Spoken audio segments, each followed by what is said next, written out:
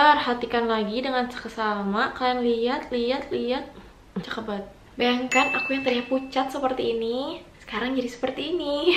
Cuman pakai lipstick doang. Ini warnanya udah cantik-cantik banget. Aku yakin kalian bakal suka. Kalian tidak perlu ada ketakutan akan membuat bibir kering karena enggak.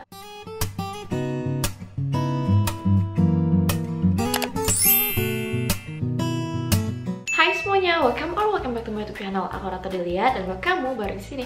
Welcome. Jangan lupa klik tombol subscribe, like dan juga share video ini ke teman kamu yang butuh. Thank you. Di video kali ini aku bakal review and swatches Wardah Matte Lip Cream yang shade terbarunya ya, shade 19 sampai shade 24. Ini warnanya udah cantik-cantik banget. Aku yakin kalian bakal suka. Kalau kalian mau langsung swatchesnya skip ke menit ini, tapi sekarang kita bahas dulu produknya. Untuk harganya aku beli tuh di 40.000 sampai 50.000 gitu. Beda shade, beda harga. Linknya udah aku taruh di bawah. Packagingnya gemes banget. Ini packaging baru dan bentuk dia itu berbeda ya guys. Jadi bentuk dia tuh ada sisi yang flat, ada sisi yang enggak flatnya gitu. Menurutku lucu sih. Beda dari yang lain. Tapi yang mau aku bahas adalah dari teksturnya. Teksturnya tuh menurutku lumayan mind blowing. Jadi beda banget dari yang sebelumnya.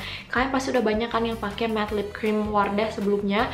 Yang baru ini tuh mind blowing banget. Kalian tidak perlu ada ketakutan akan membuat bibir kering karena enggak pionnya itu ngarah ke arah velvet tapi enggak finishnya tuh matte nih. Kayak gitu tuh cakep banget ya. Plus plusnya lagi dia ada SPF 20 PA 2 plus. Uh, dia sih claimnya cream to matte dan highly pigmented. Aku setuju sih. Sekarang kita langsung aja ke swatchesnya. Shade 19 have a blush. Ini warnanya cantik banget. Nih. Perhatikan lagi dengan seksama kalian lihat lihat lihat banget. Jadi ini dia shade 19 Hava Blush kalau misalnya pakai full lips, kalian bisa lihat warna dia tuh sebenarnya coklat ya, coklat pink gitu ya. Yang tipe muted gitu, jatuhnya nude sih sebenarnya. Dan ini warnanya cakep banget, mungkin ini bakal masuk di semua skin tone dan kalau kalian mau beli satu dulu, belilah dia. Ini close up-nya, kalian bisa lihat. Sekali lagi ini dia shade 19 Hava Blush. Kita mau ke shade berikutnya. Shade 20 Peach of Mine ini aku sudah swatches di tangan dan pokoknya ini kayaknya favorit aku. Karena warnanya aku banget. Nih ini aku pakai full lips dulu oke oke oke nih. Nah ini dia shade 20 Peach of Mine kalau misalnya pakai full lips warnanya tuh ternyata pas aku pakai. Sebenarnya tuh lebih ke pink sih guys. Bukan peach banget gitu ya. Bukan kayak Maybelline Versatile gitu tapi lebih ke pink. Tapi pinknya itu pink yang masih cakep peach-peach gitu. Surprisingly di aku yang lebih keluar itu kayak hint pinknya gitu. Dan hasilnya kayak gini. Warna yang super cewek kue gitu kamu pakai setiap hari ke occasion mana pun ini lucu banget warnanya. Bayangkan aku yang tadinya pucat seperti ini sekarang jadi seperti ini. Cuman pakai lipstick doang. Oke sekali lagi ini dia shade 20 Peach of Mine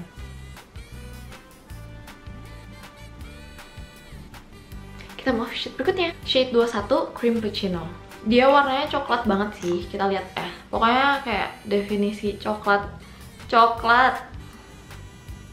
Nih kalian lihat gak sih dia tuh glide-nya enak banget. Pokoknya formulanya super duper beda dari yang sebelumnya uh, gini ya coklat. Iyalah boleh coklat merah gitu tapi yang lebih dominan tuh coklat. Coklat yang ada hint merahnya tapi coklat gitu ya. Silahkan aja langsung borong ini yang suka warna coklat karena warna coklatnya juga cakep banget tetap kita kelihatan fresh. Sekali lagi nih dia shade 21 cream puccino kita mau shade berikutnya. Shade 22 rouge velvet. Kayak ini tuh uh, nanti tiga warna terakhir tuh warnanya merah semua. Dan menurutku semuanya cantik dan sesuai kebutuhan kalian. Kalian kan suka merah ya? Ini beda beda beda shade of rednya tuh dia itu merahnya merah yang lumayan deep gitu ya. Aku kategoriin dia sebagai merah malam gitu. Kayak sesuatu yang bakal kita pakai di malam hari tapi kalau misalnya kamu pakai pagi hari it's okay juga. Kalian bakal ngerti maksudku kenapa merah malam kalau misalnya dibandingkan sama yang lain. Soalnya nanti tuh ada merah bata sama merah cabe tapi ini tuh merah malam sih menurutku. Apa ya bahasanya? Nih pokoknya merah kayak gini. Lagi ini dia shade 22 Rouge Velvet kita mau shade berikutnya shade 23 Rose and Shine. Marilah langsung kita pakai. Kalau aku bilang ini merah bata gitu. Uh, merah orange sih tapi nggak terlalu bata. Gimana ya? Oke, merahnya tuh merah warm. Ini dia shade 23 Rose and Shine. Concentrate Full Lips di antara tiga warna merah yang ada dua dua Iya benar. 22, 23 dan 24 kalau boleh pilih sebenarnya aku favorite aku sih si 23 ini karena menurutku lebih masuk di skin tone aku. Ini adalah tipe merah yang walaupun merahnya lumayan deep, aku tetap pede untuk pakai kayak ta ta ta ta ta ta ta, ta. maksudnya kayak jalan-jalan gitu ya. Ku jamin aku pede. Maksudnya aku pede, ya. anyway, ngomong apa sih aku nih ya? Oke, okay, sekali lagi ini dia shade 23 Rose and Shine.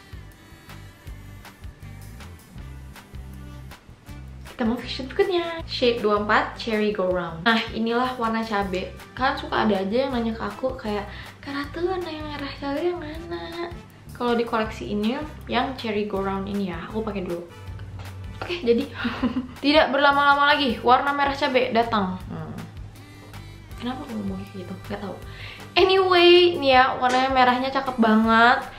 Lumayan sih kalian suka banyak yang tanyain uh, merah cabe ini apakah cabe enough untuk kalian menurutku sih sudah warna cabe udah langsung aja ya dibeli nih 24 cherry go round jadi sekali lagi ini dia shade 24 cherry go round